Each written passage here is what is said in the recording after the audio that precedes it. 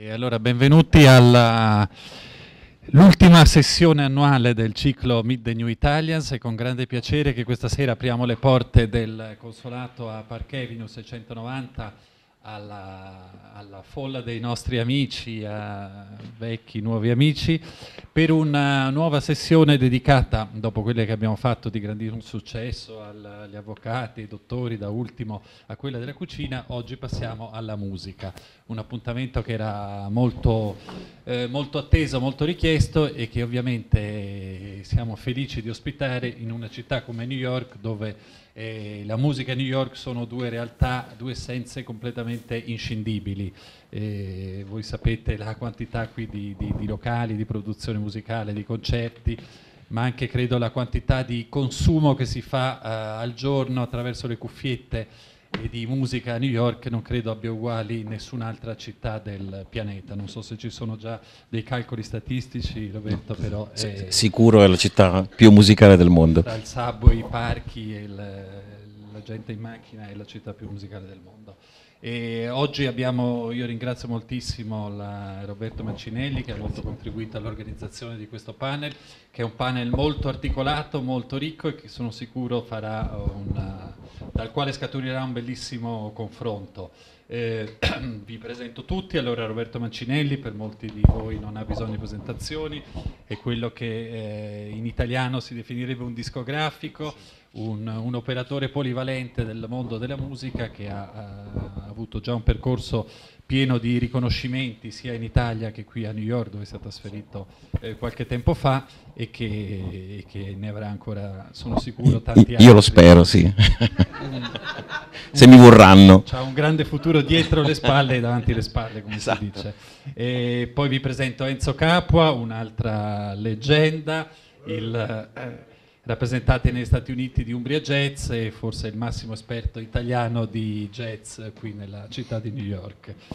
Poi mh, Fabrizio Sotti, che è produttore e chitarrista jazz, e Roberta Di Mario, che è un'affermata pianista, e ci scusiamo ovviamente che non c'è il piano, ci attrezzeremo per le prossime occasioni.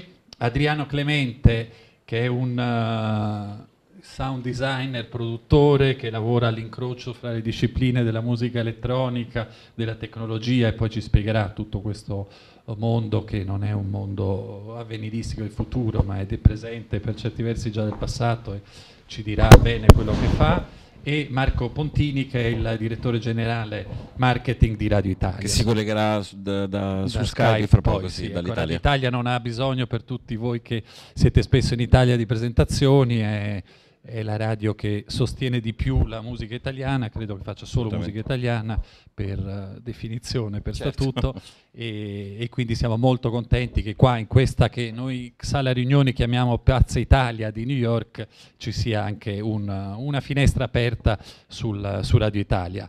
E credo che in questo dibattito a cui contribuirà molto anche Marco Cappelli, il compositore che ho appena presentato, ci, ci, sarà l'occasione per fare un confronto come eh, siamo soliti fare in questo Meet the New Italians in maniera molto pratica, pragmatica, in cui eh, sicuramente emergeranno le, le, le, luci, le sfide, anche le ombre di una vita musicale, da un percorso musicale, una carriera musicale da affrontare fuori dall'Italia a New York. Credo che la formula di ehm, successo e di interesse di questi dibattiti sia proprio quella di non nasconderci niente, di farlo in maniera eh, molto poco poetica poetica ma con molta prosa.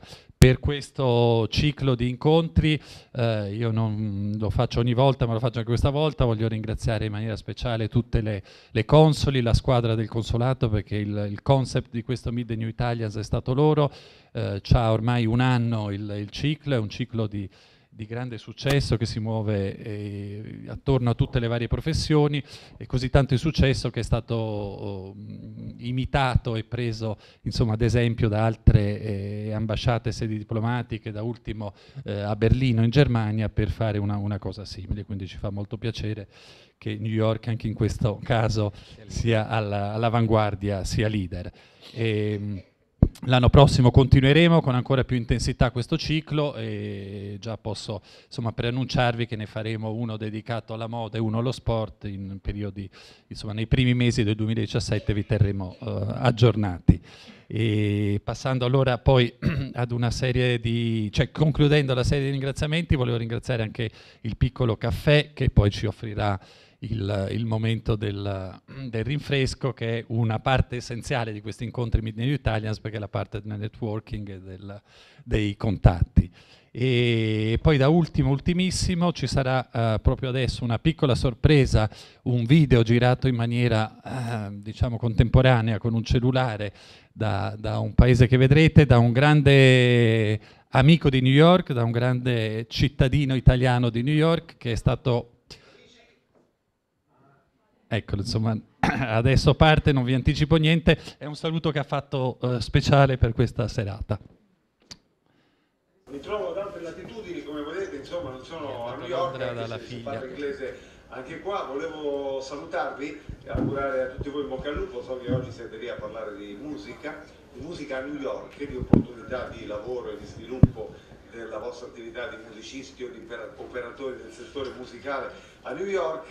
Io insomma ultimamente ci sono stato molto, negli ultimi quattro anni ci sono stato eh, eh, assiduamente, ho infilato le mani dentro la bestia della musica americana, quello che posso dirvi è che New York è la capitale mondiale della musica, quindi il vostro apporto alla capitale mondiale della musica chiaramente è molto difficile perché è una città satura di musica, ma quello che potrete trarre invece dalla vostra esperienza di vivere a New York eh, sarà molto importante perché è una città che è fatta di musica, è costruita di musica, che si, i migliori musicisti del mondo sono lì, le migliori opportunità.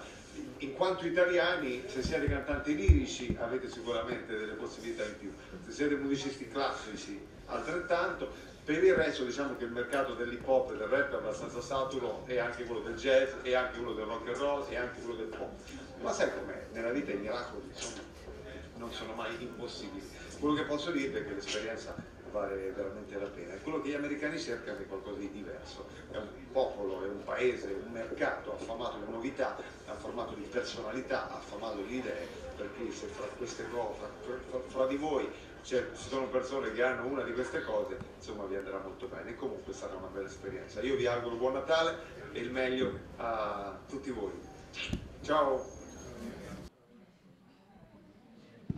Ecco, su questo spunto che può essere già uno stimolo per la discussione, Roberto ti do la parola. Grazie ancora, buona serata a tutti e buon dibattito. Grazie.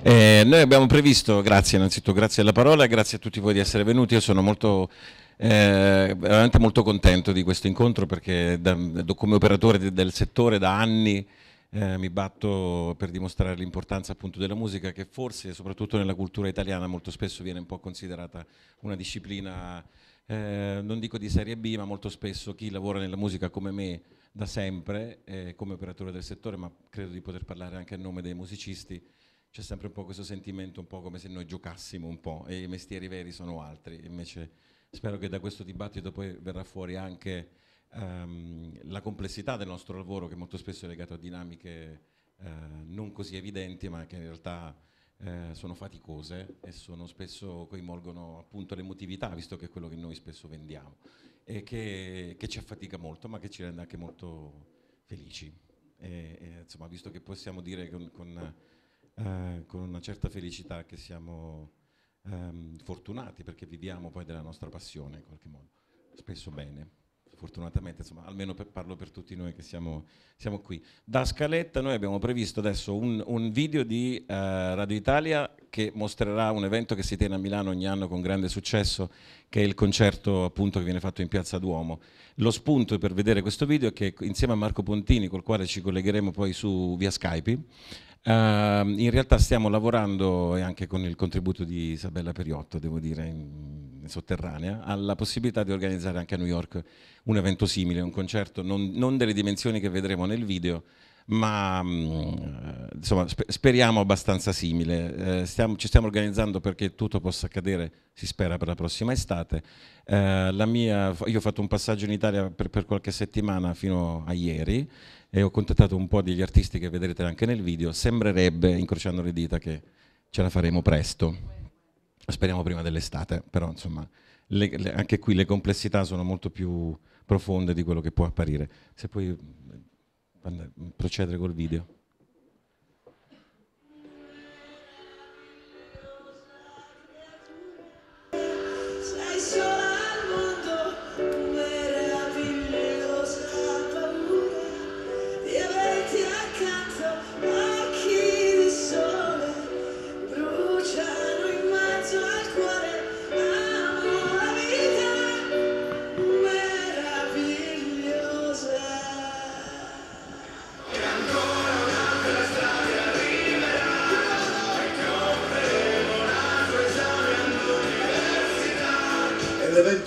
Tremare le piazze, un'energia unica e inimitabile, tutto il meglio della musica italiana live su un solo palco. Radio Italia Live, il concerto.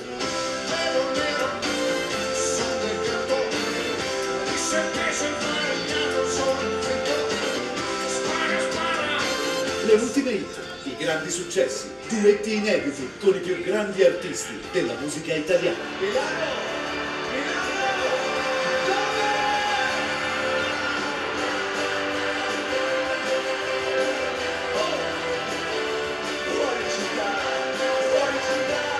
Tutta la travolgente intensità dell'Orchestra Filarmonica Italiana del maestro Bruno Santoro.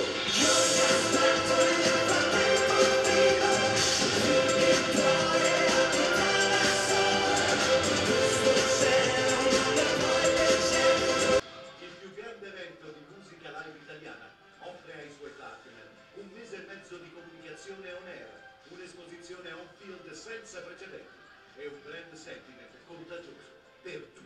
Martirie!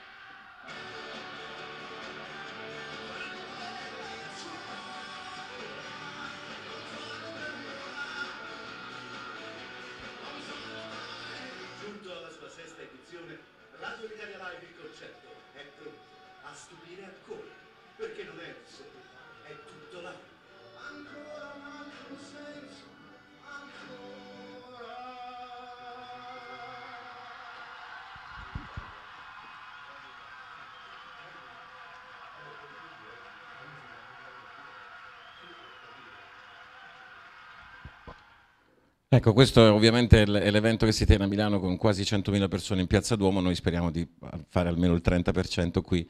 Buona parte degli artisti hanno appunto aderito all'idea di rappresentare l'Italia con la collaborazione di Radio Italia, speriamo, del consolato.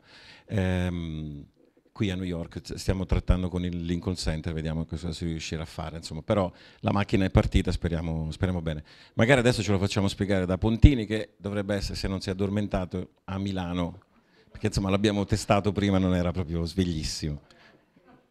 Vediamo un po'. Lui purtroppo non ci vede, però... Ah, fa partire la telefonata, sì. Siamo, siamo in un accrocchio... Il, pri- il, primo è andato male, vediamo se ne... Sono le due quasi, lui mi sa che... Vediamo se ci sente da Skype.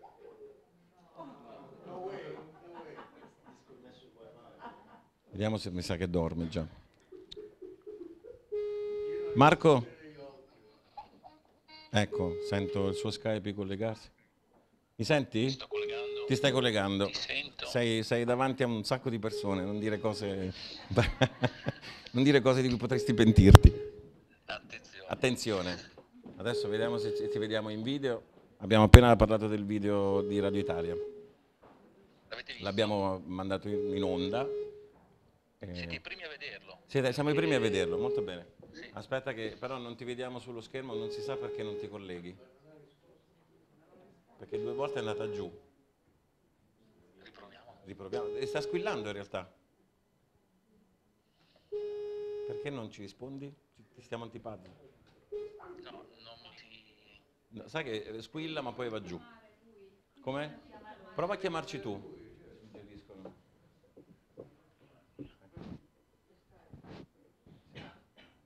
State pazienza, eh, ci, arriviamo. Sento, lo- sento. Vi sto chiamando. Io c'ho- ho il mio, microfono, vicino ecco. Niente. Faccia- facciamolo così, facciamo live sai, su, Sky- su- su WhatsApp e ho il microfono qui, così almeno hai l'opportunità di salutare tutti. Io ho spiegato del nostro progetto. Va bene. Fantastico. Va bene, via. Intanto io ogni tanto provo comunque a, a videochiamare. Va bene, intanto sei, sei on air, vai pure. Beh, innanzitutto buongiorno a tutti. Eh, Come sapete qua è notte, ma per voi non è così e siete solo a metà giornata. No, grazie, grazie per avermi chiamato, ringrazio il consolato e, e Roberto per questa opportunità. Mi spiace degli inconvenienti. Boh, La tecnologia è una gran cosa, ma non sempre esatto. è di supporto. Io ora- ho appena raccontato Marco che appunto stiamo lavorando nella direzione di organizzare il bellissimo evento che fate a Milano, anche a New York, nelle- con le debite proporzioni e speriamo bene, insomma, speriamo di, di farcela per l'estate. Certo, certo, è, è ancora tutto da, da- da- da- Il desiderio ci sarebbe, anche perché nel, nel DNA di Radio Italia, eh, di Mario Volanti che l'ha fondata 35 anni fa, c'è proprio il desiderio di, di portare la musica, la musica italiana a, chi l'ama, in Italia ma anche nel mondo, eh, sempre attraverso un concetto di gratuità. Certo. Free è fondamentale assolutamente. nel, nel DNA della radio. E, no, le- giusto due parole per, per dirvi, vado veloce perché chiaramente Sì. essendo una, una call non, non vorrei ammazzarvi di noia, ma velocemente, due parole per dirvi chi sono e da dove arrivo. Sì. Io ho sempre lavorato in ambito musicale perché ho iniziato a lavorare eh, quasi sempre con grandi imprenditori illuminati, tra virgolette. Prima con, con Claudio Cecchetto eh, a Radio Capital, era appena uscito da Radio DJ, stava- aveva fondato Radio Capital, un'esperienza molto affascinante con eh, tante star eh, anche attualissime, da Fiorello a Giovanotti, da, da Amadeus, Luca Laurenti, tanti altri. Dopodiché sono andato invece a occuparmi di eventi di radio, eh, quindi per RDS Radio Italia e altre radio e ehm, poi sono approdato invece alla gestione di, di venue eh, perché andai a fare il direttore generale del gruppo Forumnet e quindi gestii ehm, alcuni dei più grandi palasport d'Italia Milano, il Forum, Roma, il Paleur riaperto come Paralottomatica, Pesaro, Bologna e Livorno e, per poi tornare al primo amore quindi la radio dove, quindi con il ritorno a Radio Italia dove, Sì. dove sono ormai fermo da 11 anni perché Con successo troppo direi. bene. Cosa? Con successo, Eh, non lo so, speriamo. non lo dico io.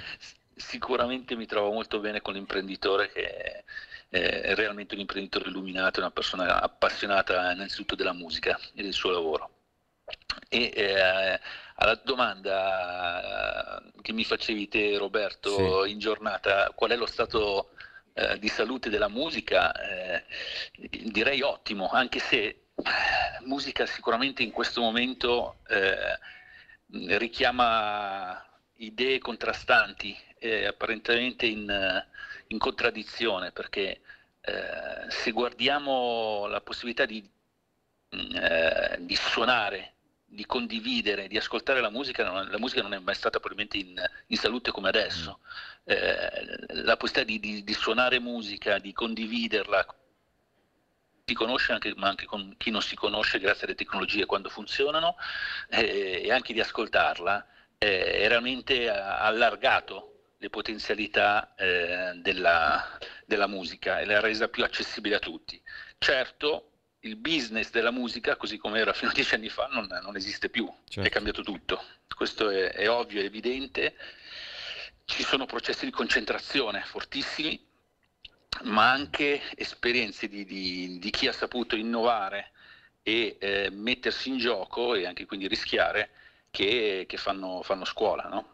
Sì. E, ehm, quindi se vogliamo, la- io direi che la musica è in ottima salute, il modello di business eh, legato alla musica, i modelli di business legati alla musica vanno, vanno riconsiderati. Se guardiamo al nostro, eh, parlo di Radio Italia, della radio, Sì. eh, almeno in Italia, eh, è particolarmente sfidante perché anche qua in Italia ci sono state grandi concentrazioni, anche sulla radio. Noi siamo tra i pochissimi ancora indipendenti.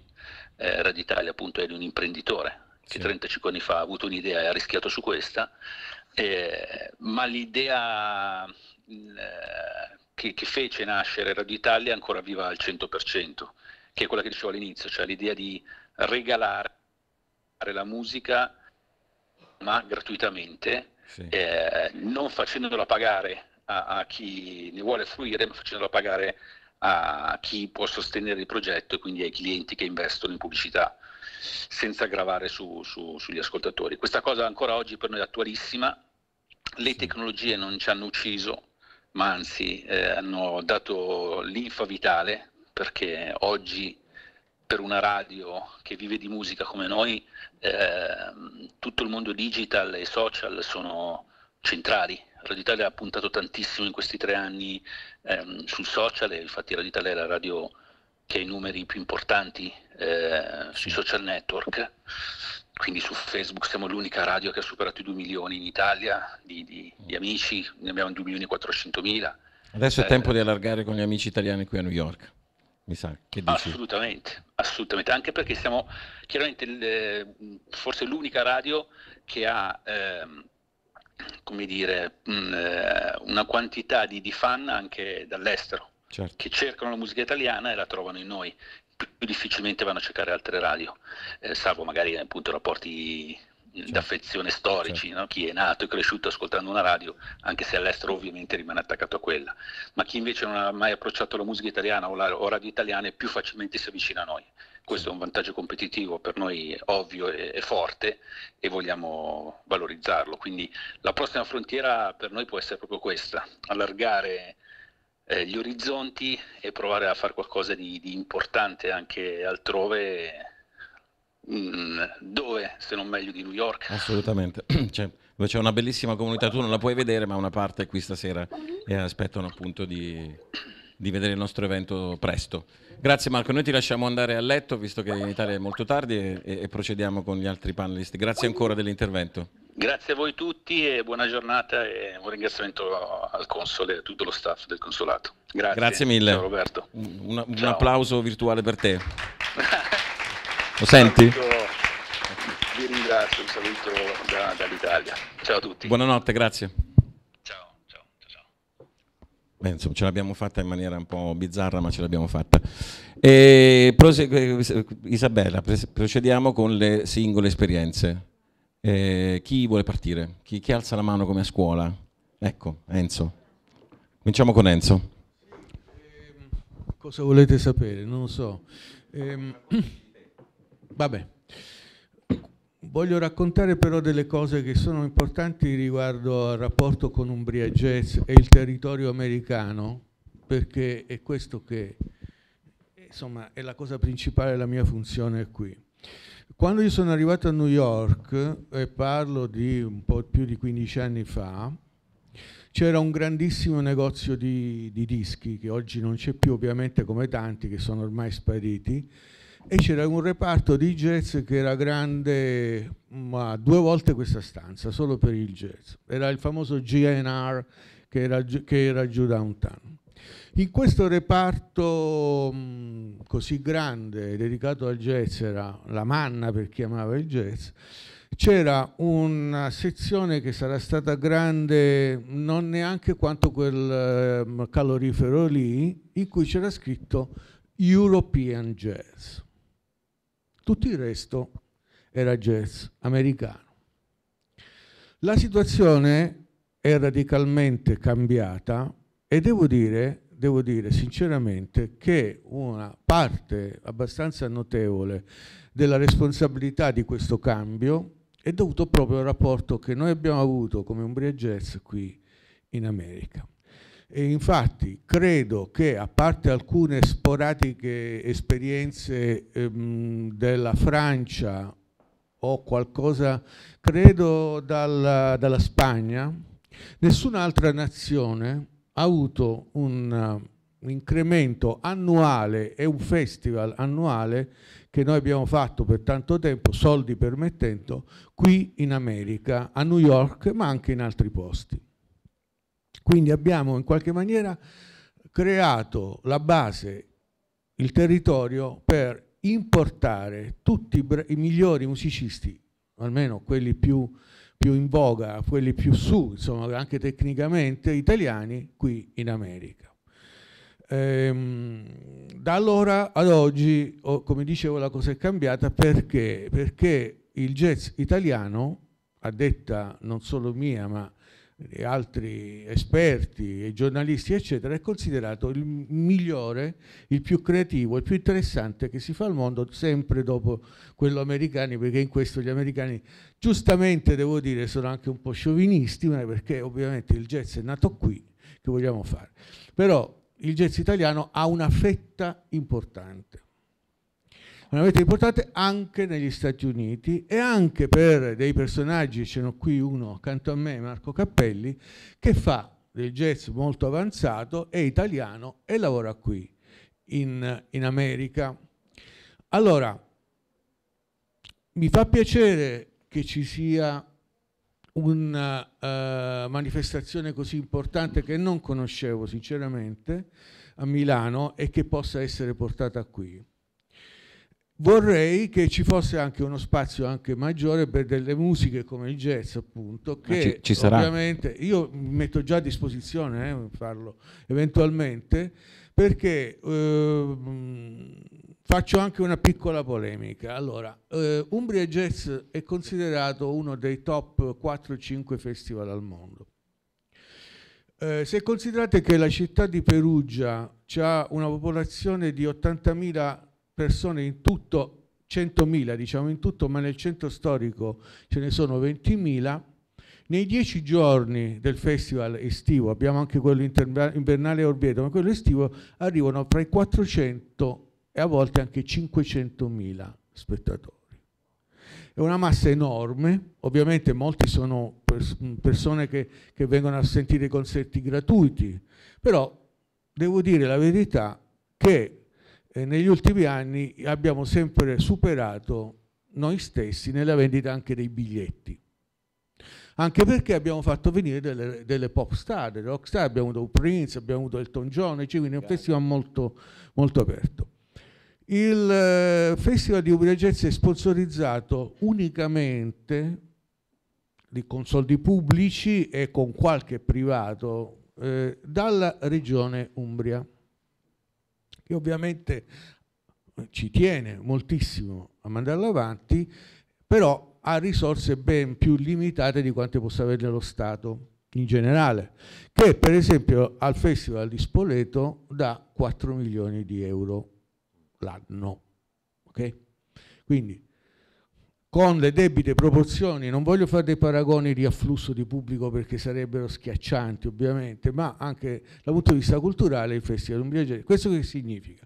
Significa che il jazz è una parte importante sia della cultura che ovviamente dello spettacolo ormai in Italia e ha bisogno sempre di più di essere aiutato in qualche modo, perché personaggi come Bollani, per esempio come Stefano Bollani, sono personaggi ormai che hanno una popolarità che va oltre il jazz, che è sempre stata considerata una musica di nicchia, ma in certi casi non lo è più.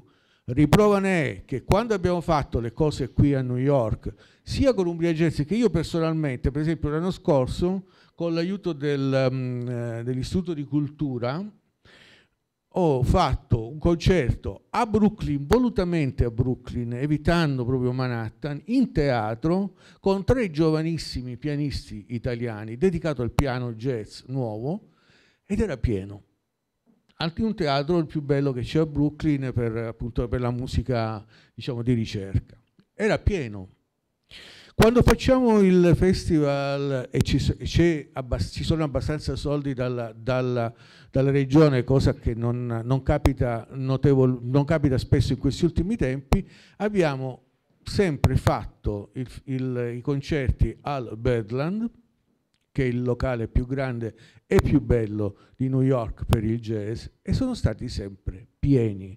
Tanto è vero che la gente continua a chiederci, fate venire i musicisti italiani perché sono bravi, ci piacciono, oltretutto sono anche simpatici eh, e non hanno quell'aria un po' greve che a volte hanno certi musicisti. Questa è la mia, quindi sono molto orgoglioso di questo perché ho contribuito e continuo a contribuire al meglio delle mie possibilità a dare una mano all'Italia degli Stati Uniti in un campo che un tempo era considerato esclusivamente americano e oggi non lo, più, non lo è più.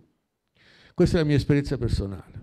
Eh, se, se, può servire, io ti garantisco sin d'ora che ti coinvolgeremo nell'evento, eh, perché appunto la, la, mission che poi personalmente io ho qui negli Stati Uniti è quella di uh, creare dei, un ponte culturale fra appunto, nel mio caso specifico, fra songwriters italiani e quelli americani, però poi nel tempo si è allargata appunto abbiamo visto il video di Radio Italia che include tanti artisti pop italiani, ma non abbiamo nessun tipo di preclusione di genere, anzi per noi è importante Devo che si dimostri cosa, che, che l'Italia ha, ha, un valore vero e certo. ce l'abbiamo.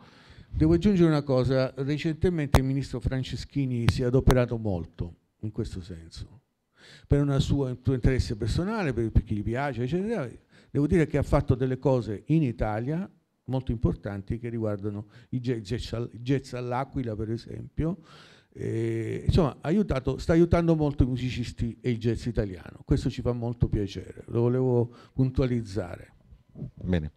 E se siete d'accordo sentiamo l'esperienza di Marco Cappelli, no? vogliamo, vogliamo, anche capire un po', perché insomma tutti noi abbiamo avuto un, dire, la bellissima malsana idea di trasferirci qui un po' sognatori, un po' eh, come dire, anche un po' pionieri per certi aspetti. Tu sei qui da tanto tempo, io personalmente sono molto curioso, di, ma credo anche gli altri, insomma, di sapere. Circa 12 anni. Beh, insomma, tanto e. Mh, mm, sì, in effetti è stato un po' un incontro casuale quello con... Uh, eh, con New York, perché io, um, fra l'altro, sono molto onorato della qualifica di jazzista che assumo con grande um, rispetto, perché il mio background non è jazzistico per niente. Io vengo dalla, ho studiato chitarra classica, la insegno.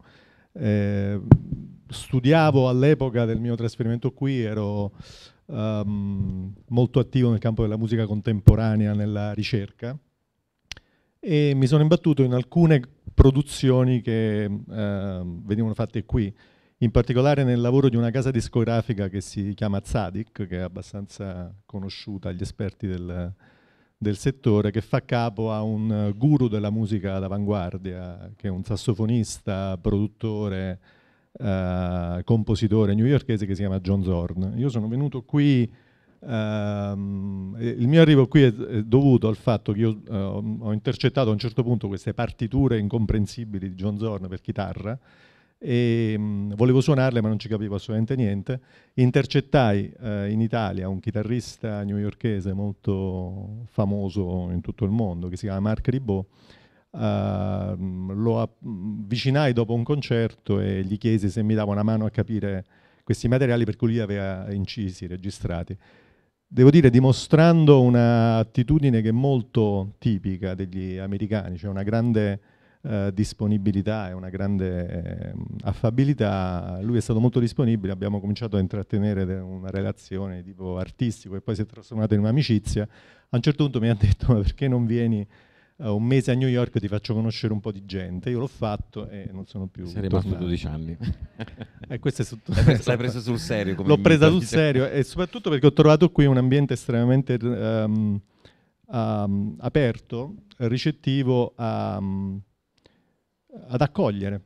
Questo credo che al di là delle difficoltà che ci sono dappertutto, che sicuramente sono molto uh, tipiche di, attivi- di qualsiasi attività creativa, Uh, credo che New York sia un posto particolarmente aperto e, e facile da approcciare se uno ha qualcosa da dire.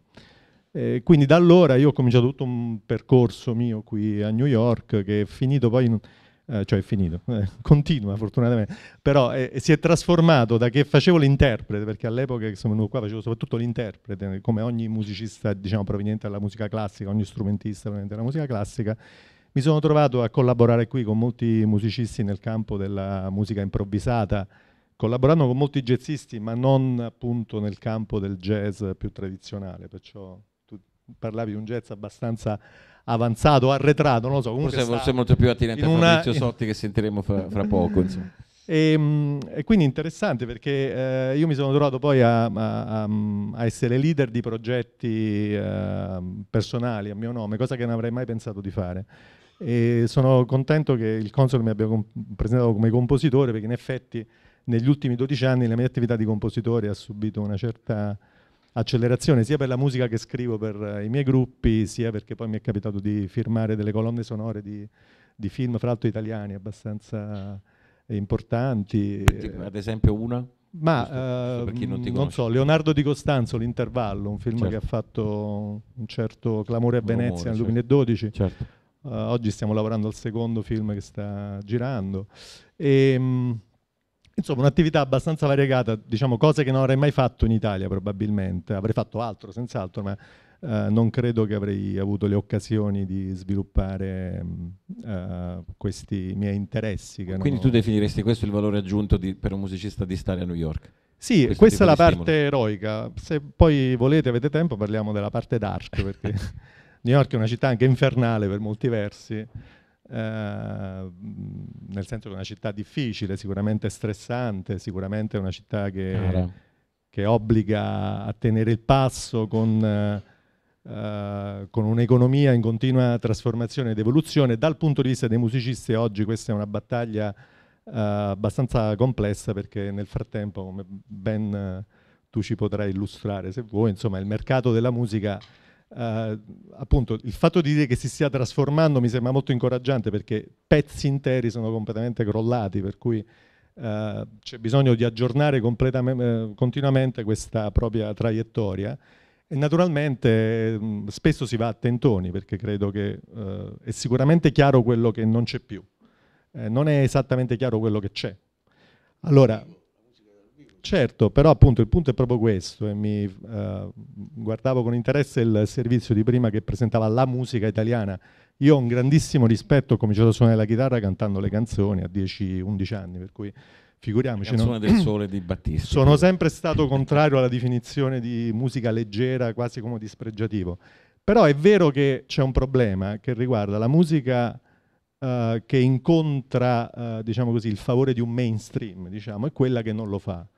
Um, qua si apre una questione molto complessa, cioè ha senso d'essere, dobbiamo lasciare essere solo ciò che viene sostenuto automaticamente dal mercato, oppure c'è bisogno di trovare dei sistemi per valorizzare e per rendere ascoltabile a un pubblico che poi di nicchia, ma di nicchia, cioè la Zadig di nicchia, però cioè, vende migliaia di dischi, vendeva quando i dischi vendevano. eh, ci, ci Insomma, a dire questo, che il video ovviamente presentava era un video di presentazione marketing di una cosa che è accaduta in Italia che fondamentalmente era dedicato a degli investitori.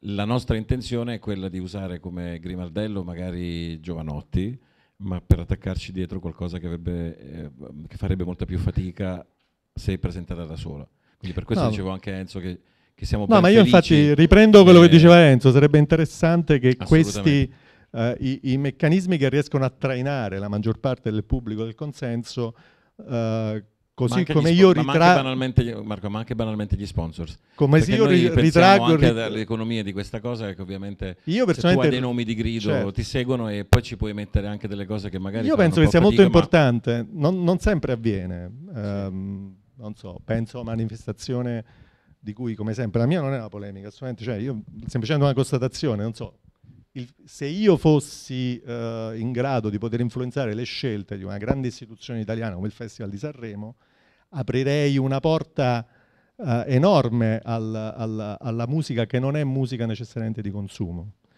Perché poi il fatto che la musica sia di consumo o non di consumo molto, molto spesso ha a che fare con l'accesso che queste musiche hanno o non hanno al grande pubblico, non necessariamente al fatto che siano... Però è anche molto vero, io sto arrivando dritto dal Festival di Sanremo, sono passato da casa, ho preso la valigia e sono arrivato a New York. È anche molto vero che istituzioni come Sanremo sono istituzioni classiche che molto spesso, è un po' come la, nostra, come la notte degli Oscar qui, devono mantenere un, un, un cotè di, class, di classico sì. e per poi... Per, perché modificare lì certe cose è un po' paradossale. No, certo. ma quello che, quello che, volevo dirti in questo senso, volevo dire che noi a Umbria Jazz abbiamo utilizzato una politica eh, per sponsorizzare in qualche maniera concerti e musicisti che ovviamente non possono attrarre molto pubblico. Allora, abbiamo fatto Prince, abbiamo fatto Lady Gaga, la gente ci ha gridato dietro siete dei pazzi, non si fanno queste cose. Abbiamo fatto Elton John, e ultimamente quest'anno abbiamo fatto Mica. Mica in tre giorni, tre giorni da quando è stato messo online il, in vendita il concerto, ha venduto il tutto esaurito. Quel concerto lì, o quel concerto, il concerto di Prince, il concerto di Lady Gaga con Tony Bennett, ci ha permesso eh, di poter pagare i concerti al teatro Morlacchi, che ha una capienza di 500-600 posti, con musicisti di grandissimo, straordinario valore, italiani e americani, ovviamente già in partenza in perdita dal punto di vista degli incassi. Però se non avessimo avuto quell'introito dai musicisti ovviamente molto più popolari, James Taylor, questa gente qui, eh, la gente ci ha criticato a lungo per questo, ma un festival, festival importante che si propone anche di promuovere non solo la cultura ma anche lo spettacolo, deve bilanciare le due cose. Questo è quello che, che noi abbiamo fatto e stiamo facendo. È quello che pensiamo di fare anche noi qui, perché ovviamente ci sono dei nomi eh, che avranno maggiore, maggiore appeal sul, sull'audience per poi metterci dietro delle eh, nuove o cose strane o quelle che di solito non avrebbero lo spazio e l'attenzione eh, de, dei media, dei, dei, giornali, piuttosto che de, insomma, dei mezzi di comunicazione. Sentiamo il nostro barbuto amico. Ok, ma mi piaceva questa ma... conversazione che ci avevate un po', perché comunque eh, par- parlerò un attimo di me, però Assolutamente. se posso aggiungere quello, quello di cui parlavate voi, penso che il problema di, riuscire ad approcciare generi che di solito sono definiti di nicchia o sono troppo avanguardistici o sono troppo complicati o sono troppo giovani, perché quello è un altro, un altro di solito aggettivo negativo a un genere, è anche un, discorso di educare la gente, cioè nel senso che comunque per poter aspettarsi che la gente apprezzi e paghi il biglietto di, uh, per, per, musicisti che magari non sono quelli che suonano ra- sulle radio tutti i giorni, uh, sono le radio stesse che hanno la responsabilità a volte di dover uh, iniettare questa musica. Adesso penso in un'era come questa qui, chiunque ha meno di, di 30 anni, io ce n'ho di più, uh, di 30 sa che uh, non, non, sei più schiavo delle radio, non sei più schiavo dei, uh, o schiava dei, delle playlist di qualcun altro. Spotify per esempio è un, un, un, mezzo per poter raggiungere qualsiasi tipo di musica, più o meno, non, non, tutto, anche le cose più, più di nicchia lì non esistono, te le devi andare a ricercare comunque su altre piattaforme. Comunque, a livello personale, uh, il mio, il mio, la mia connessione con la musica e con New York è un po' uh, diversa. Uh, tu perché sei venuto a New York? Perché sono venuto a New York? Ma di tutto io ho studiato pianoforte uh, in- al conservatorio, quindi quello era un- uno dei miei background, uh, la musica classica, che un po' quando ero più piccolo un po' me la facevano odiare, nel senso che comunque c'era sempre questa quest'idea che nel 96, quando io studiavo al, pianoforte, avevo 15 anni, Uh, eh, c'erano già dei computer con i quali potevi lavorare. Parlavamo prima, c'era già la musica, uh, la possibilità di lavorare sulla musica e, e, creare dei suoni che andavano al di là di quello che poteva un pianoforte un violoncello, una viola d'arti. E io app- apprezzavo quella roba lì, o comunque ero attratto. E quello che è successo è che mi sono ritrovato la, la parte del conservatorio che spingeva a dirmi no, quella è roba che ti rovina, come se fosse una droga, e, e il resto, la parte di, di, gente giovane che comunque all'epoca faceva il DJ o uh, campionava la musica, mi diceva no, questa è la roba del futuro. E quindi io dicevo a chi devo credere? Cioè, devo credere a questi comunque che, che mi danno educazione o a gente comunque che, che, che lavora di, di, di fare le, cioè, con le serate facendo i DJ. Alla fine dei conti direi che la, la realtà, la, la, verità sta in mezzo, nel senso che comunque uh, personalmente la mia carriera musicale, la, senza aver studiato uh, musica classica, non avrei mai avuto la prospettiva che ho adesso sulla musica, però legato a New York, uh, quando sono arrivato qui in realtà venivo da un periodo a Roma, io sono originario pugliese, sono nato a, a Taranto quando uh, lì nel, nell'82 eh, e praticamente che è successo? E quando sono arrivato a New York arrivavo da una situazione eh, abbastanza interessante perché avevo finito gli studi a Roma, avevo studiato psicologia eh, e studiavo alla St. Louis che è quella scuola privata che sta a Monti, studiavo Uh, jazz e, elett- e, musica elettronica, quindi era un po' il punto d'incontro delle due cose che, che mi erano sembrate distaccate, punto in bianco c'avevo professori che potevano insegnare uh, a usare un software per produrre musica con i concetti di, di, di musica scritta o musica letta, quindi uh, mi, mi, sentivo un po' a casa. E quando sono arrivato qui uh, avevo tutto questo background, però in realtà non avevo nessuna aspettativa eh, principale sulla città, nel senso che dovevo passarci da New York per stare tre mesi e l'idea mia era di andare a San Francisco perché eh, pensavo che la tecnologia e tutte le start-up e tutto eh, il mondo del, del, futuro stava lì. E poi però quando sono arrivato qua um, ho detto sai che c'è, ho tre mesi, era l'estate, ho un paio di amici che studiano al New York, New York Film Academy, erano gli unici italiani che conoscevo, e contattiamoli, li ho contattati, loro mi fanno, oh ma ci aiuti a finire queste colonne sonore perché dobbiamo finire la tesi della, della scuola di cinema e non abbiamo un corso di, di, suono e io venivo da, da Roma dove ho fatto lo IED e, e, insegnavo, studiavo sound design. Ho detto, oh, perfetto, facciamolo, per me è tipo un piacere, facciamo sta cosa. E mi sono ritrovato a fare 4-5 colonne sonore nell'arco di, di, di due mesi. E tutto ciò chiaramente non pagato e, e con la prospettiva di, di, chi voleva studiare e voleva conoscere la lingua, quindi ero diciamo attivato da tutta questa energia. Uh, poi però che è successo? Che lavorando anche, anche, senza nessuna aspettativa, senza aspettarmi nessuna paga o nessun tipo di, di, di uh, uh, di supporto, di, di, retribuzione, esatto. Uh, quasi eh, que quello mi ha spinto a fare ancora di più di quello che potevo fare e poi uh, la, la, gente che circolava intorno cominciava a dire oh mi serve uh, il contatto di un sound designer, passa il contatto. E mi sembrava stranissimo, cioè appena arrivato da Roma questa roba mi sembrava assurda. Dicevo aspetta, a Roma cioè per trovare un contatto devi, devi praticamente scannarti e cercare di, di, riuscire a infilarti dentro un serpentone di incasinamenti. Qui invece cioè, quasi quasi non ce la facevo a dire sì a tutti perché eh, eh era, era, molto naturale, cioè, tipo oh mi hanno detto che lavori bene, voglio lavorare con te. Cioè, eh, mi ha sorpreso. Adesso come adesso ecco, penso che questa sia... è la ragione per cui non sei più ripartito. Questa è la ragione per cui non sono più ripartito e per la quale penso che comunque ha valore un po' eh, entrare in contatto con un'altra cultura. In questo caso quella americana che dal mio punto di vista, eh, guardando un po' a quello che è stata l'esperienza, l'idea di dover confrontarti con una cultura nella quale non sei parte, ma cercare di diventare parte, ti spinge a fare una serie di cose. Primo, imparare l'inglese meglio degli americani, perché se tu comunque vuoi comunicare a livello professionale, a livello educativo, a livello di qualsiasi livello, se non parli la lingua, pure in Italia, cioè pensaci, se uno viene da, da Amsterdam e non parla l'italiano, dopo 5 minuti, bella, te vai, vai via, no? E quindi um, diciamo tut, tutto questo ha, ha tipo spinto uh, me a dover, um, uh, dover, mettere in gioco. Poi è entrata la possibilità di, di insegnare e quindi quello è diventato il mio primo lavoro ufficiale.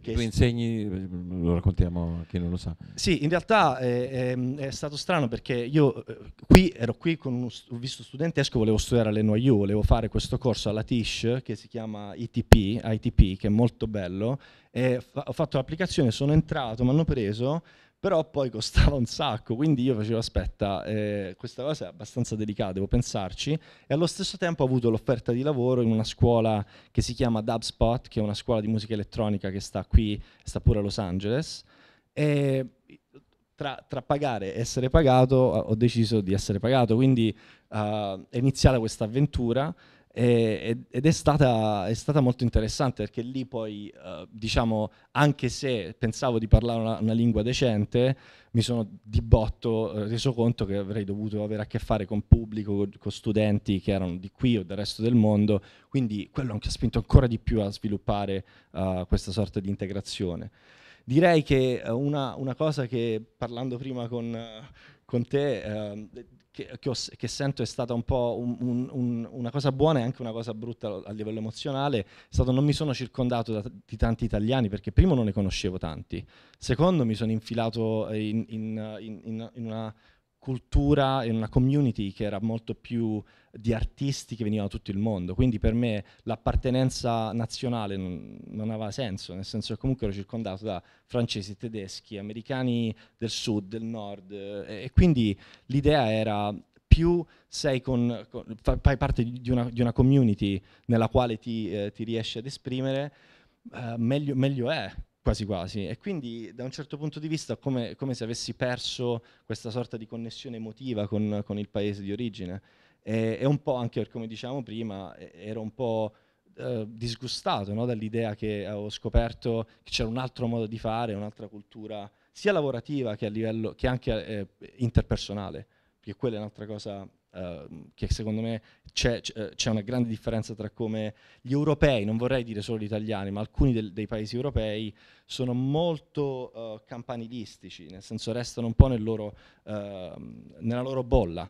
E il problema vero però è che New York stessa è una bolla, nel senso che poi se ti innamori di New York rischi che res- ti innamori solo di New York, non del, dell'America, perché l'America in sé non è New York. E, e non vorrei prendere più tempo, però un'altra cosa che mi ha dato l'opportunità di capire questo è stato un tour eh, all'interno degli Stati Uniti uh, per una company che si chiama Ableton, che fa un software di musica elettronica, che mi ha chiesto, visto che il mio background era di educazione, mi ha chiesto di insegnare delle lecture in, uh, in università americane. E quindi lì eh, di botto ho detto aspetta un attimo, ok, quindi l'America è figa, ma New York è figa, gli americani poi pure loro sono campanilistici e magari hanno le loro... Um, votano Trump. Guarda, non ne parliamo. Io quando sono arrivato qui sette anni fa, la gente tipo mi prendeva in giro perché diceva come avete fatto voi a votare quel personaggio lì? E dicevo, eh, vabbè, capita. Oh, eh. Infatti dicevo, voi a chi? Guarda, eh, ci sono anche altre generazioni quando si vota. Comunque, Uh, quello che, che spero um, condivido con, con, un po' tutti quelli che sono qui e chi vive a New York o chi vuole viverci è l'idea principale uh, che ti permette di amare questa città e poi allo stesso tempo magari di essere amato, apprezzato per quello che fai. Secondo me è anche un po' avere, essere un po' umili un po' nel, nel, nel, nel lavoro, anche nel, in quello che puoi fare, quello che sono le, le, le opportunità. Alla fine dei conti sono cresciuto in, una, in un'era dove um, penso la mia generazione ha vissuto un sacco di cambi, sia politici che istituzionali, educativi, di tutti i tipi. E non c'è stata mai nessuna sicurezza, nel senso noi siamo dovuti passare dal vinile alla cassetta, al mini disc, al, al CD, al, all'MP3, a Spotify. Al mini disc solo tu. Solo io, solo io. No, io lo, lo amavo no, io il mini no. disc. Io lo amavo il mini Beh, disc. Anche, perché era tipo un CD dove potevi registrarci fino a un Però la Sony ne ha venduti tre di minidisc, forse esatto. quattro. Infatti lo dico per Sony... esperienza personale. Ah, Però insomma fa piacere incontrarne uno dei quattro nel mondo che, che, che ha comprato il minidisc. Grande, infatti sì, no, lo, lo, apprezzo ancora, ti direi la verità.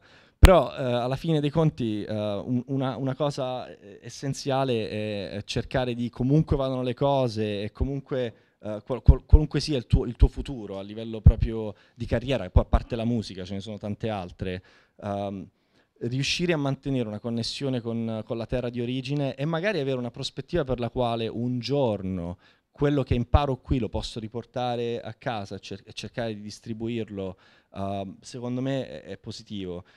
Che ami o che non ami il tuo paese, cioè in qualche modo è, è responsabilità da cittadino di, di dover riuscire a, a, riportare, a, riportare, qualcosa indietro. Poi se, se, il paese non lo rifiuta, bella, ci hai provato. Uno ci ha provato, diciamo. Esatto. Va bene.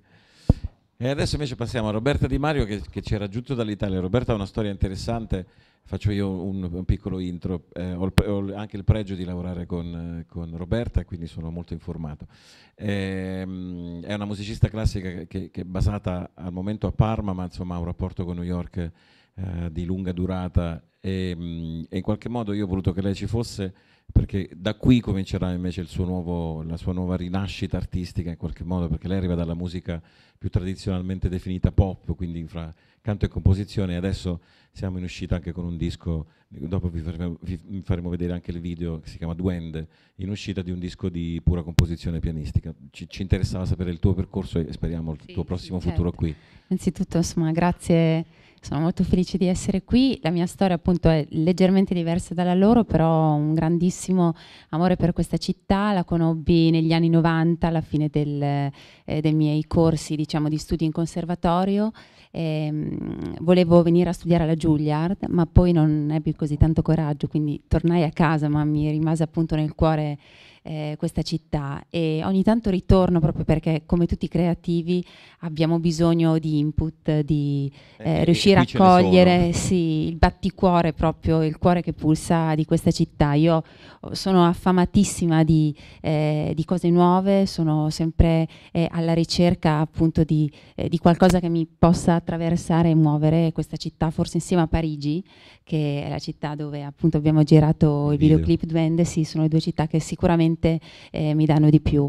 Eh, per eh, scrivere appunto i dieci pezzi inediti del mio album che uscirà nel primavera 2017 sono tornata qui e ho raccolto un po' di eh, rumori, di colori, skyline, insomma tutto quello che ci poteva essere, quindi credo insomma, che appunto anche in Legacy ci sia ci un po' di... Sì, assolutamente, anche di questa... Ci, ci racconti un città. po' della tua formazione? Sì, io ho fatto un percorso appunto classico in conservatorio, mi sono ritrovata molto anche nelle cose che eh, hai detto tu, nel senso che in conservatorio, almeno nella mia epoca, negli anni 90, c'era tantissima chiusura, proprio il conservatorio conservava, eh, quindi facevo davvero fatica a potermi esprimere come volevo. Poi ero una ragazzina proprio molto filo di perle, ballerine, quindi ero, beh, seguivo davvero eh, le regole di, di, quel momento.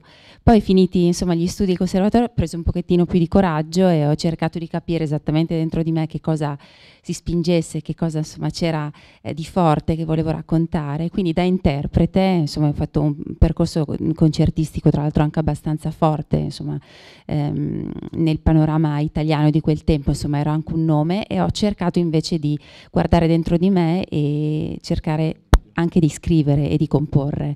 Quindi da pianista, insomma, interprete, sono diventata compositrice ed è la cosa che veramente mi arricchisce di più perché ogni volta che scrivo mi sento davvero migliore, quindi eh, però è stato difficile in quegli anni proprio perché anche quando scrivevo da ragazzina l'insegnante poi mi diceva ma non perdere tempo a scrivere, suona Bach, suona Beethoven, quindi Sdeng, io assolutamente in depressione, non avendo ancora la forza di impormi. Poi insomma negli anni maturando ho cercato di imporre la mia natura. Poi c'è stato un momento dove mi sono fermata perché sono diventata mamma e quindi mi sono dedicata ai pannolini, ai compiti eccetera e poi insomma ho trovato la forza davvero per eh, poter raccontare chi fossi oggi credo di essere veramente Roberta e con Duende, con eh, questo album nuovo insomma esprimo davvero la parte più profonda di me che è senz'altro quella più vera. Io devo dire appunto per collegarmi all'esperienza di New York di Roberta che uh, mi sono fatto carico di rappresentare un po' la sua musica in giro qui e devo dire che questa connessione europea e, e con New York ha trovato devo dire, parecchie porte, almeno dal punto di vista della sensibilità. Adesso vedremo cosa diventerà, però insomma, devo dire che sono rimasto sorpreso proprio dal, dal, dal piacere che, che, ho riscontrato poi nei miei contatti, eh, sempre attraverso la missione di rappresentarvi eh, qui, su, qui su, New York, devo dire che, che, è uno degli esempi migliori. Eh, a tal proposito, se avete due secondi di pazienza, vi facciamo vedere un pezzettino di video e poi sentiamo la testimonianza anche di, del grandissimo chitarrista Maurizio, eh, Fabrizio, perdonami detto tutti.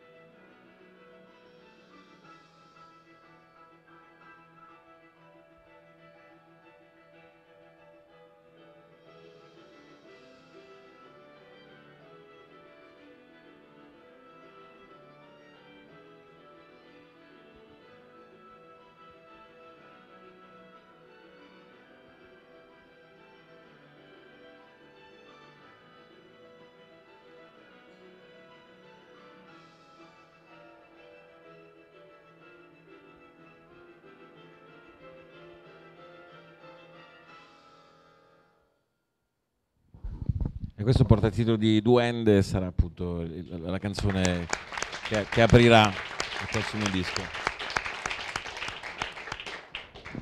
Allora passiamo a Fabrizio Sotti, che forse è quello che vive da più tempo la musica eh, qui a New York, o almeno negli Stati Uniti. Eh, da, da, quello che so io ho avuto esperienze di jazz, esperienze di produttore hip hop, insomma le hai fatte praticamente tutte. R- raccontacele un po'. Beh sì, io sono eh, 26 anni che vivo uh, qui a New York. Decisamente quello che batte tutti. Mi sono uh, spostato qui nel uh, 91 e allora avevo 16 anni e, um, in Italia comunque um, già suonavo, eh, facevo entrambi, studiavo il jazz ovviamente, avevo i miei piccoli tri, duo, suonavo anche con dei musicisti che mi sono serviti molto anche italiani, tipo Aresta Volazzi, non so se lo conoscete, un contrabbassista da cui ho imparato molto, ma verso i 16 anni, eh, un po' per motivi personali e un po' anche per motivi veramente musicali, ehm, ho voluto staccarmi e, e, venire a New York, eh, ovviamente una scelta difficile, drastica, anche a 16 anni, stare qui ho detto ai miei genitori, guardi, eh, vado lì questa, quest'estate, passerò tre mesi lì, ma sapendo che non sarei mai tornato. Infatti non sono mai tornato.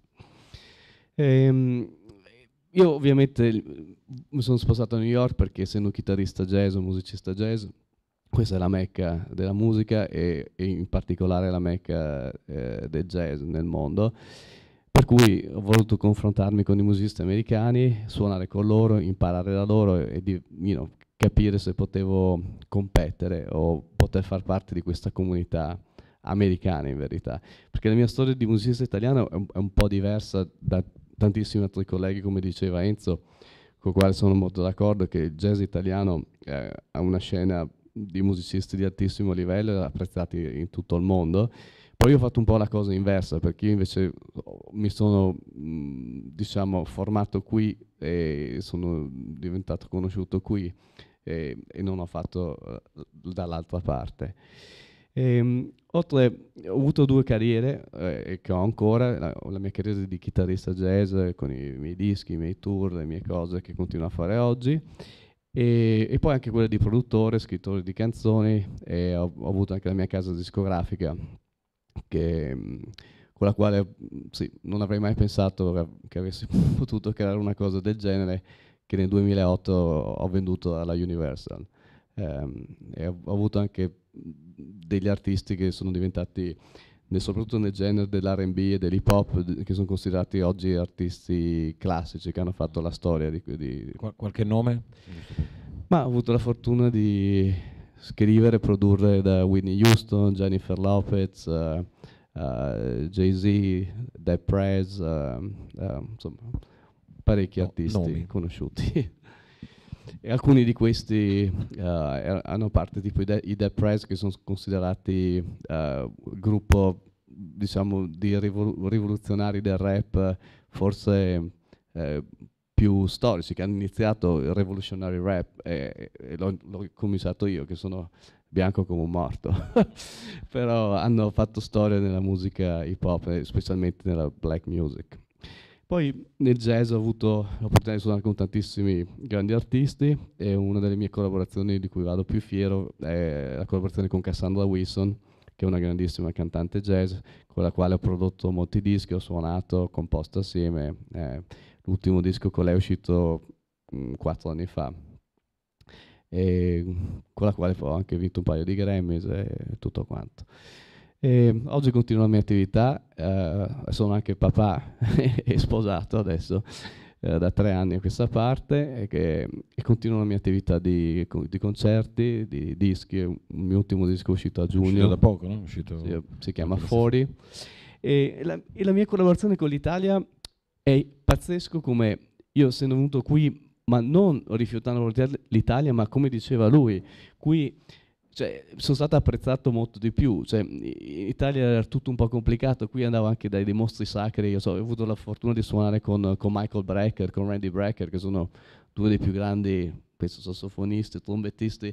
E ho, ho, fatto parte della loro band, ho suonato con la Brecker Brothers, ho imparato moltissimo da loro e sono stato accettato Cioè, ho detto, ok, va bene, ci sei simpatico, eh, mettiti a suonare la chitarra se sei capace, se va bene, e poi e il resto è stata diciamo, la storia di quel che mi è successo. La differenza che tu trovi fondamentale è il fatto che c'è uno, una possibilità, un'occasione. No, di sicuro c'è una possibilità e il, il, musicista americano è molto aperto ed è molto meritocratico, cioè se sei capace a suonare, infatti anche oggi come diceva Enzo ci sono un sacco di collaborazioni fra artisti italiani e americani e chi direi che sono praticamente sì, allo stesso livello, voglio dire, dal punto di vista artistico. Esatto, è, è meritocratica. Cioè, se, se, se, suoni sei accettato, se non suoni no. In Italia tante volte le cose sono molto diverse, ma adesso il mio rapporto con l'Italia si è intensificato. Io non ho collaborato con molti artisti italiani, ho avuto il grande onore di suonare con Pino Daniele, eh, con il quale ho fatto anche un tour che si chiama Medina come, come guest. Uh, anzi Pino manca molto, devo dire. Molto sì. E, ehm, e poi ho avuto l'opportunità di lavorare con Zucchero eh, tre anni fa, che ha fatto un duetto in un mio disco in cui ho fatto dei duetti con tantissime pop star, eh, fra le quali anche Zucchero. E abbiamo fatto un pezzo stupendo dove addirittura Bono eh, mi ha scritto la canzone e Zucchero l'ha cantata nel mio disco, dunque è stato un grande onore. E in questi ultimi due o tre anni, anche avendo incontrato Roberto, eh, dall'Italia mi sono arrivate molte più proposte, opportunità di prima. E ad oggi sto lavorando con questi due rapper che non so se, conosci- se conoscete, Marrakesh e, Clementino, e sto lavorando al loro, al loro, nuovo disco. Farà Sanremo quest'anno, è stato annunciato l'altro sì. giorno Clementino ancora una volta a Sanremo, che appunto si collega un po' alla rivoluzione di Sanremo per certi aspetti. Per quanto non sia così rivoluzionario, però per Sanremo avere un rapper che rappa in napoletano effettivamente è una roba un po' fuori dal classicismo, no? Per certi aspetti non sei convinto? No. Dicevo te? Sì. Perché tu dicevi Sanremo si dovrebbe, no, potrebbe aprirsi. Sì, sì. Sentito anche il pezzo, bellissimo. So, questa è la mia storia e come dicevano anche loro è un rapporto di odio e amore. New York non, non sono gli Stati Uniti, è una città a sé stante. Eh, è il centro del mondo un po' per tutto, non solo per la musica. Eh, dunque ha moltissime possibilità e avendo moltissime possibilità e tutto il mondo che vuole vivere qui è anche molto difficile vivere. Io in questi 26 anni di gente che è venuta e è andata via ne ho vista veramente tanta. Dunque sono anche orgoglioso di, essere di aver resistito fino ad ora. Sembra un, un ottimo risultato. Ehm, toccherebbe a me, giusto adesso. Eh, no, io sarò brevissimo perché so che Michele del Piccolo Caffè ha preparato delle cose molto buone ed è ora. Ehm, eh, no, io insomma, io ho fatto tanti anni di discografia, sono fondamentalmente adesso un publisher musicale, ho passato buona parte della giovinezza fra Warner Music e Sony Music, che ancora ho l'onore di rappresentare anche qui a New York. Fondamentalmente la mission che ho è quella di creare delle opportunità fra i songwriters italiani e quelli americani. Devo dire che l'esperienza di questi due anni e mezzo più o meno è stata mm, nettamente positiva. Io faccio di solito dei, eh, dei camp di scrittura che durano una settimana dove l'incontro di solito fra la creatività italiana e quella americana porta a un risultato bellissimo che conferma quello che era il mio sospetto che ho sempre avuto sin dall'Italia, e cioè che noi siamo innanzitutto molto bravi, eh, che abbiamo un, un, un senso della scrittura completamente eh, forse più di cuore per certi aspetti, ma che fu, quando si va a fondere con quella americana trova, devo dire, delle, delle, bellissime alchimie. Ci sono un po' di brani che sono nati da queste esperienze che spero vedremo presto sul mercato, però insomma è stato faticoso all'inizio, ci ho messo quasi un anno a ingranare per trovare studi, musicisti, amici italiani che mi hanno dato imbocchi e, e indirizzi importantissimi in una città così aggressiva e spesso dispersiva. Ehm, direi che al momento viaggiamo abbastanza bene. E poi insomma ho, ho, il piacere anche di condividere con voi serate come questa e per me è la conferma che, che, quando dall'Italia sognavo di venire a fare un po' questa roba qui tutto sommato si poteva fare. E, ehm, e ne sono felice. Basta qui. Grazie. Io non lo so se adesso è il caso di fare delle domande se avete delle domande altrimenti c'è, c'è Michele pronto e il piccolo caffè. Sai che hanno Qual- tutti fame. Mi sa che hanno Nessuno tutti fame. alza la mano per qualche domanda? O pasta asciutta? Gi- o pasta solo asciutta? una, giusto per, per, non mandarci a casa così, una sola. Nessuno.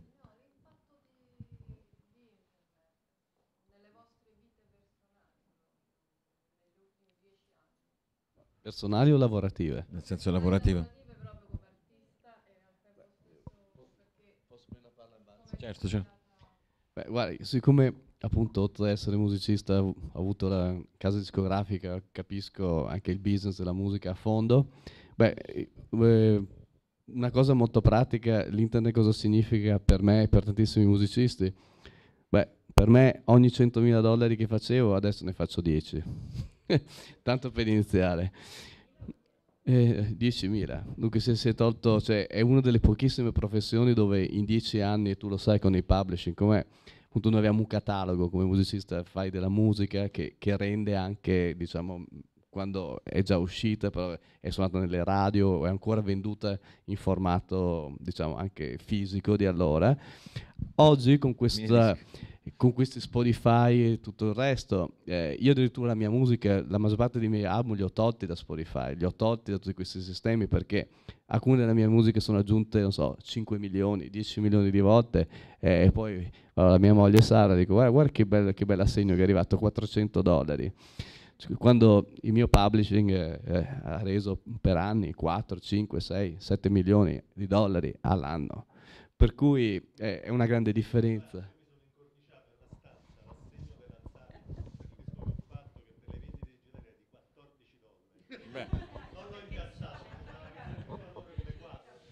Però erano 14 dollari molto mm, voluti, molto sudati.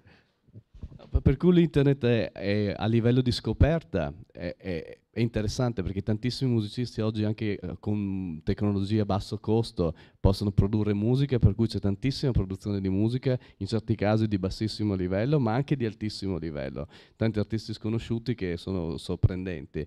Però eh, in questa nuova fase del business non è ancora definita, perché tutti noi eh, stiamo soffrendo. In effetti è ancora una fase di evoluzione e, e bisogna ancora capire dove si andrà effettivamente. La monetizzazione da questi, da YouTube e tutto il resto, a parte due, tre, cioè, ad esempio YouTube e Vivo, non so se conoscete Vivo Channel. Vivo, se non esistesse Beyoncé, Rihanna e Justin Bieber non potrebbero esistere, cioè nel senso non, questi canali non potrebbero supportare e tutto il resto, quanti sono? Milioni di artisti fra alto livello, medio livello, basso e sconosciuti che vivono in queste piattaforme, ma se questi tre artisti non esistessero, la piattaforma non potrebbe sostenersi. Anche l'anno scorso il 99% degli, degli album che hanno fatto download sono stati venduti in un sistema cioè, tradizionale anche se nuovo, sono stati venduti dall'1% di artisti. cioè, questo dunque vi fa capire come eh, non è più ben diviso come prima. La music industry prima aveva tutti i livelli, dal basso a quello nuovo che stava diventando qualcuno, al medio a quello più alto, in tutti i generi, nel jazz, nel pop, nel classico, in qualsiasi genere di musica. Oggi c'è una, una discrepanza incredibile perché nelle major, come tu sai bene, eh, la possibilità di A&R, Artistic Research, che danno possibilità di, a nuovi artisti è difficilissimo, devi fare tutto da solo sull'internet, avere 10 milioni di visite su YouTube che comunque non ci guadagni niente, per dopo avere magari un, qualcuno che ti viene a battere la porta dell'università se ti dà un contratto non esiste più, anche io artisti con cui lavoro adesso, alcuni sono famosissimi e sono completamente indipendenti, dico sì, perché noi adesso dobbiamo venirti a dare a te il frutto di questo lavoro che abbiamo fatto comunque da soli. Però è anche molto vero da, dal mio punto di vista, poi le problematiche dell'industria le condivido con te, che eh, io che faccio molto spesso scouting, devo dire che appunto la possibilità di internet mi ha dato una possibilità enorme appunto di, di fare scouting in maniera in maniera assolutamente eccezionale. Un esempio, eh, ne vado particolarmente fiero di questo ragazzo che è entrato a Sanremo, che vedremo a febbraio. Io, mi, mi, mi, contattava spesso attraverso internet quando ero qui a New York, che io seguivo poco. Com'è? Esatto. Eh, però io ho avuto modo di, anche di sperimentarlo, poi di incontrarlo dal vivo, poi fare il lavoro tradizionale. Però la fase di scouting che negli anni 90 per me era molto più manuale è venuta attraverso internet e, e alla fine siamo arrivati in un percorso tradizionale. La questione delle royalties in realtà è ancora, è, è ancora in, in, evoluzione. Dal mio punto di vista sono, condivido esattamente quello che dice ehm, il nostro amico jazzista, però sono, scusate, sono i, nomi sono pazzi. Fabrizio, perdonami.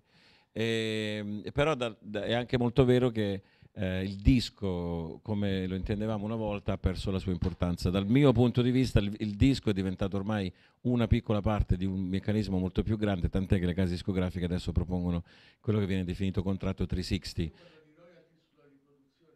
ma la riproduzione in realtà adesso è un, è un, modo in realtà per far partire una macchina che include il live, il merchandising, che include l'esposizione, lo sfruttamento parallelo, tant'è che il publishing che io rappresento in realtà è diventata l'unica costante della discografia dalla quale non si scappa, perché la musica poi sarà liquida nei fustini del Dash piuttosto che eh, su, sugli amici che ti doppiano la cassetta, ma è vero che dal copyright non scappi se lo rispetti, poi se fai il, il, il truffatore è un'altra cosa. In poche parole Enzo per spiegarti nel nostro mondo, eh, diventa fare un disco e anche diventare attraverso disco conosciuto non è più come una volta che era una fonte di, di rendita, cioè vera, è solo per poi fare i concerti dal vivo, ma ad esempio nel jazz non c'è molto, ci sono solo i concerti, perché non è che sei una pop star che so, fai un endorsement. Per cui se, se non, non c'è un sistema che ha cioè che ha potuto diciamo, bilanciare questa cosa, è solamente sparito. E si vendono i dischi ai concerti e basta. Secondo me quello che hai detto è tutto verissimo, nel senso che comunque uh, sto affrontando adesso questa, questo tipo di percorso, ho appena messo insieme tutte le carte per aprire un'etichetta eh, che però ha una prospettiva completamente diversa perché sto partendo dal presupposto che comunque la musica non vende. E, e non, tutte le royalties che venivano co- collezionate una volta non vengono collezionate più nello stesso modo. Però c'è un aspetto interessante del, del, di internet come, come medium, uh, a parte quello delle vendite, uh, che è quello della fruizione, comunque puoi andare alla ricerca di, di roba, puoi trovare delle cose underground in mezzo alla Turchia e, e scoprire artisti. C'è anche un discorso di fruizione del, eh, vorrei tornare un attimo a quella parte perché comunque il mio lavoro, dell'educazione, cioè pensare che ci sono uh, musicisti o artisti o aspiranti musicisti, persone, diciamo così, uh, giovani che magari non hanno l'accesso ai mezzi, uh, i soldi e a livello locale proprio non hanno le scuole fisicamente, nel mezzo dell'Africa per dirti, che riescono a fare dei lavori fantastici e poi riportarli in, in, in mezzo alla nostra cultura de, del, dell'Ovest avanzatissima, piena di soldi e tutto quanto. L'anno scorso sono stato invitato dalla Red Bull Music Academy, che è comunque un, un, un, ente internazionale molto importante adesso per quanto riguarda le musiche più innovative, se vuoi, l'elettronica, l'hip hop anche.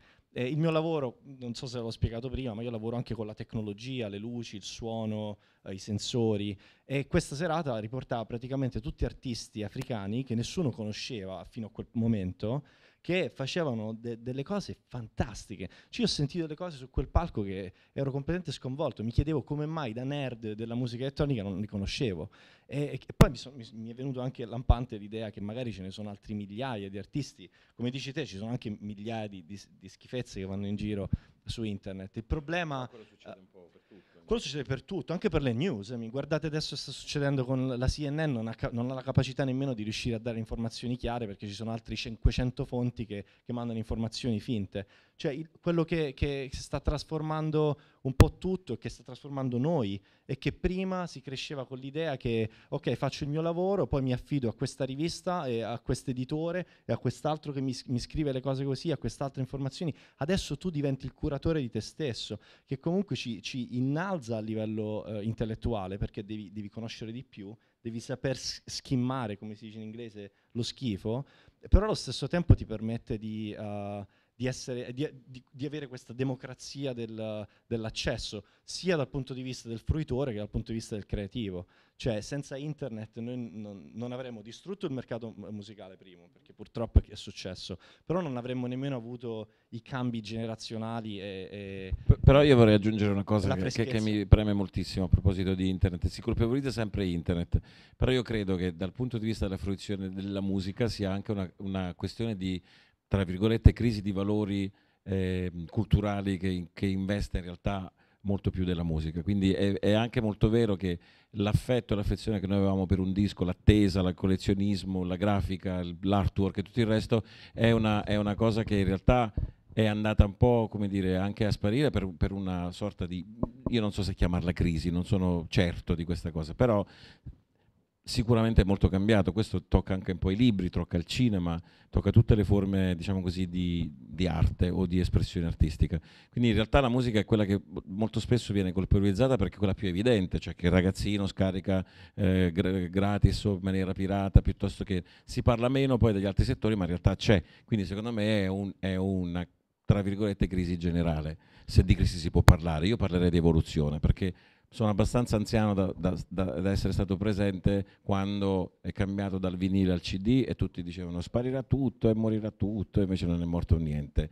È successo anche con le cassette che sono sparite, tutto sparirà. In realtà c'è sempre una, giustamente una forma di allarmismo e di protezionismo su quello che noi conosciamo e che eh, è uno spavento su quello che invece noi non conosciamo e che quindi definiamo eh, si stava meglio quando si stava peggio, ma in realtà Beh, non è così. La, la, la, tentazione di chiunque sia della nostra generazione, almeno più o meno, che ci ricordiamo ancora il telefono grigio con la esatto. rotella, è quella di, uh, di, prendersela con internet. Io penso che sia un approccio molto sbagliato, però eh, come tutte le, le, cose bisogna, secondo me, imparare ad usarlo.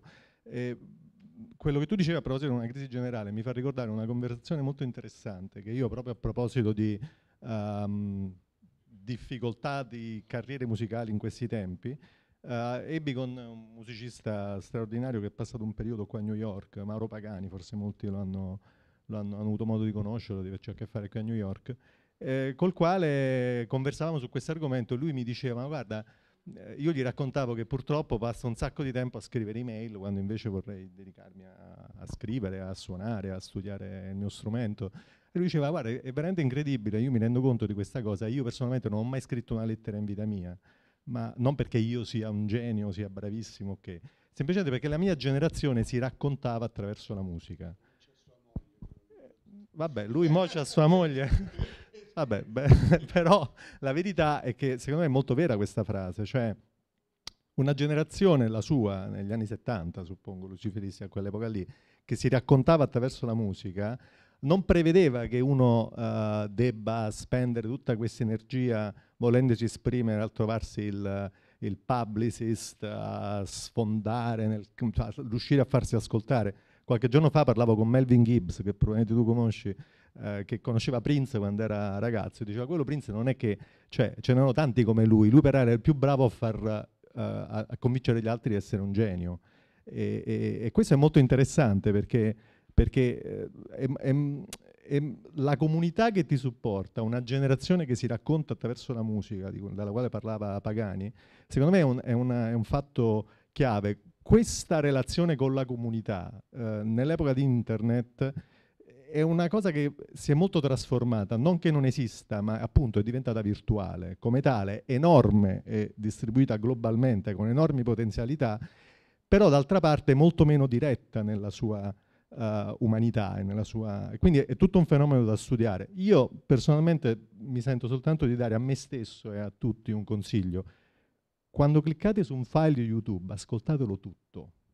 Questo zapping continuo uh, che tutti quanti facciamo, essendo multitask, Uh, con 3.000 sistemi che ci stimolano nella comunicazione, nella fruizione. Vedo che il console si è subito rintascato il cellulare. Mentre... Ma è interessante questa cosa perché secondo me questo è un dato molto importante. Io cerco di fare un auto training uh, su questa cosa qua, è difficile perché l'istinto è quello di passare da una cosa all'altra, visto che la velocità è consentita, ma l'idea di, di, sedersi su una poltrona e ascoltare interamente, come si faceva una volta con i dischi, anche un file di YouTube, secondo me è la chiave per imparare a usare bene questo mezzo e poi vedremo cosa ci riserva il futuro. sì, è verissimo questo perché si ascolta molta più musica oggi di quanto si ascoltava prima, ma come? Quello è il problema. Come si ascolta? Allora, ieri sera ho visto un film che, non, che, è uscito qualche tempo fa, che era molto interessante, era quello eh, su Phil Spector, hm? con Al Pacino e, e, Ellen Mirren. E c'è una scena stupenda perché Ellen Mirren, che fa l'avvocatessa di Phil Spector, quindi Al Pacino, ai giovani avvocati a un certo punto tira fuori una cosa. Gli fa, cos'è questo? È il tondino che n- si usava una volta per usare i 45 giri buio totale, che tutti i giovani non sapevano proprio che cos'era. Poi a un certo punto tira fuori un 45 giri. E uno fa, io lo so, è un vecchio, mo- è un vecchio software che si usava qualche anno fa. Capito? Ecco, questo è il cambio. Però il vinile sta tornando, eh? va detto che il, il vinile, vinile si sta, sta tornando, tornando, però è poi una cosa un po' da... da, da...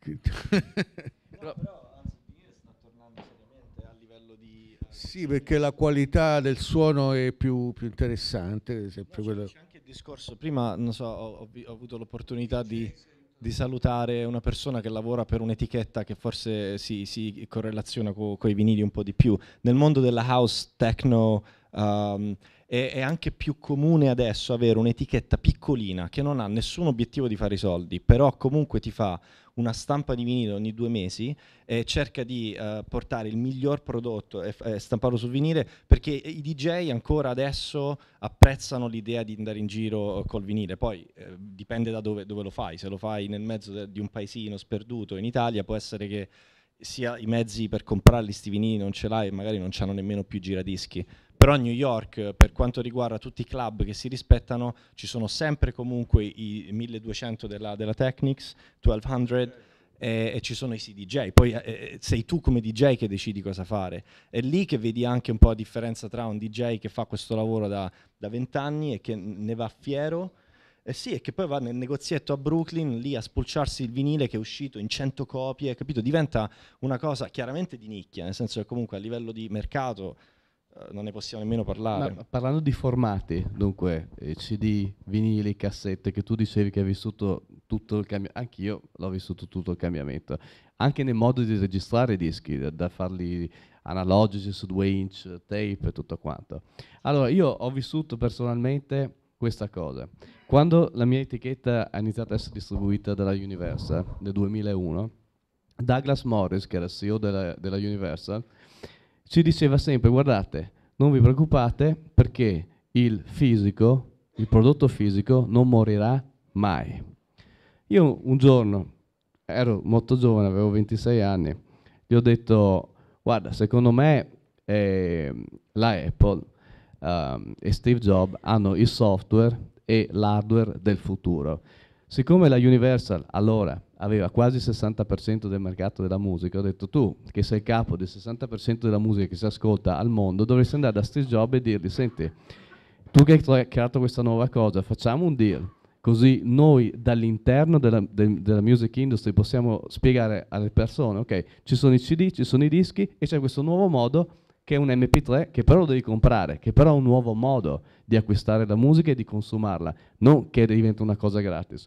Lui mi ha tirato dietro qualcosa da, dal tavolo, mi ha detto sparisci, guarda, tu, con tutti i dischi che vendi, non venire qui a spiegarmi niente a me, eh, get lost. Anzi, mi ha detto una parola molto peggio di get lost. Anyway, nel 2012 a, sono stato ancora invitato una volta a questo party di Natale eh, della Universal e, e, Doug Morris, che oggi non è più, adesso sì, è, adesso è in Sony, ha detto ammetto che pubblicamente l'ha detto, eravamo io e lui seduti così, che se io ti avessi ascoltato quel giorno, oggi la music industry, dall'industria quando ci siamo parlati che era 9 bilioni di dollari all'anno e oggi è meno di 2 bilioni, non sarebbe successo perché lui aveva il potere di farlo. Dunque io la colpa eh, la do alla music industry perché l'ho vissuta sulla pelle ed ero lì. Perché è la music industry che non ha educato, è come dire, dalle cassette si passa ai CD, però io il CD te lo do gratis e la cassetta, cioè non esiste, capisci? Do- deve essere l'industria. E invece ah, l'industria ha perso tutto perché adesso anche con social media ness- cioè, l'industria della musica non ha più niente. Io voglio soltanto dire che, è relativamente vero perché poi chiudiamo perché è, tempo di chiudere, per, eh, anche perché annoiamo, però vorrei dire soltanto questo, che è anche vero che le telco, cioè le famose compagnie che hanno spinto moltissimo, in Italia per dirti si puniva il ragazzino che è beccato in provincia di Caserta in cameretta a scaricarsi il file, ma nessuno diceva che stava nascendo Fastweb e che negli spot diceva scaricato il concetto, che era un modo per dire ai ragazzini, se tu fai eh, l'abbonamento con Fastweb che va a 7 milioni di giga al secondo, puoi scaricarti i film e la musica negli anni in cui, quindi è, è, vero che l'industria musicale ovviamente ha le sue responsabilità, ma è anche vero che c'è stato un mondo intorno che ovviamente aveva proprio interessi ad avere le connessioni, quindi se per allettare il ragazzino dovevi dirgli che si scaricava, eh, ma è un discorso importante però. Detto questo è tempo di brindare a Natale. Bu- Grazie a tutti e buon Natale a tutti.